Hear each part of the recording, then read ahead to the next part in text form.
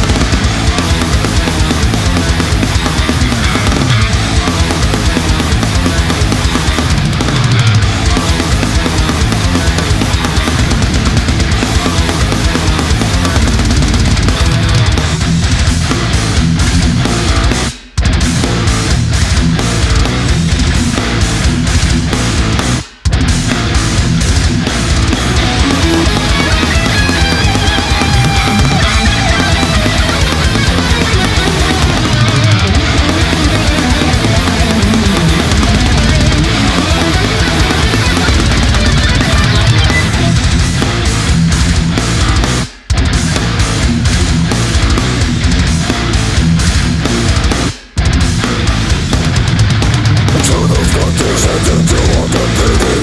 a business and profits of living Many businesses, crazy conditions